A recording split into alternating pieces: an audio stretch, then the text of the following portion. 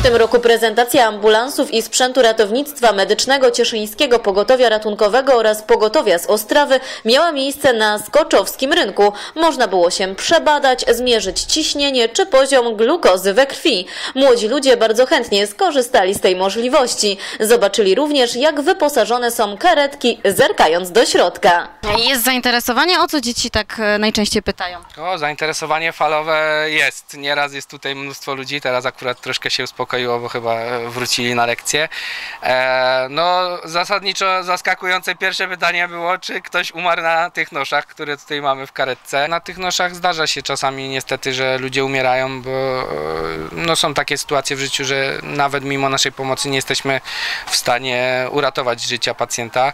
E, no, mimo, że się staramy z całej siły, wykorzystując całą naszą dostępną wiedzę, no, czasami zdarzają się takie sytuacje, że niestety pacjent umiera, tak?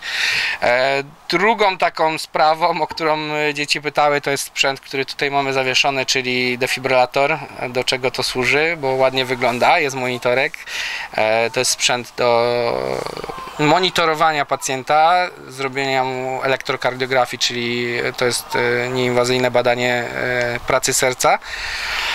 Plus dodatkowo z możliwością e, defibrylacji pacjenta, jeżeli mamy pacjenta, który jest zatrzymany krążeniowo i oddechowo e, i ma, bo w czterech rytmach się pacjent zatrzymuje, e, jeżeli ma jeden z dwóch rytmów, które są do defibrylacji z tych czterech rytmów, no wtedy ładujemy prąd i strzelamy pacjenta tym prądem. E, No, zdarza się, że pomaga, zdarza się, że nie pomaga.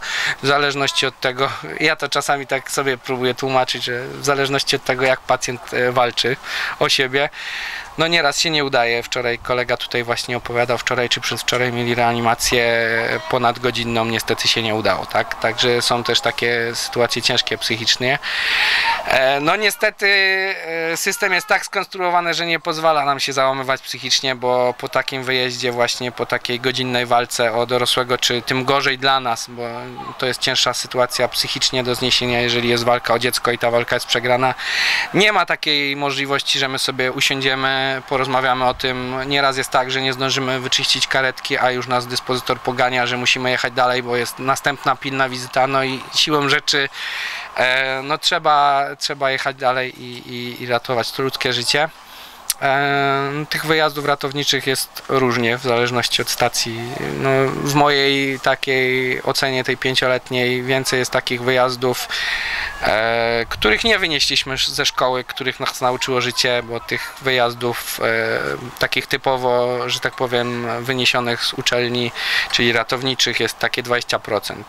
E, nie mówię, że, e, że jeździmy do pierdół, bo kwestia jest taka, że e, kiedyś e, ktoś bardzo mądrze powiedział e, mi i sobie to cenię bardzo, e, że to co dla nas wydaje się pierdołą, dla kogoś może być naprawdę końcem świata, więc e, staram się do tego też tak podchodzić, e, tłumaczyć ludziom mm, do czego służy ta karetka pogotowia, do czego służy lekarz rodzinny, e, jak to powinno wyglądać. E, No mam nadzieję, że z pozytywnym skutkiem e, oby tych wyjazdów takich, e, ja sobie życzę przynajmniej, oby tych wyjazdów ratowniczych e, było jak najmniej, bo jak powiedziała kolejna inna osoba, e, jeżeli my nie jeździmy, to znaczy, że ludzie nie chorują. I jakim sprzętem dysponuje Cieszyńskie Pogotowie Ratunkowe? O to zapytaliśmy dyrektora. Karetki są chyba najlepsze, jakie mogą być przynajmniej e, dostępne. Mamy wszystkie samochody Mercedes. Wyposażenie jest e, w pełni, że tak powiem, z oczekiwania Ministerstwa Zdrowia. Zresztą obok tutaj ta karetka żółta to jest e, karetka pogotowia czeskiego.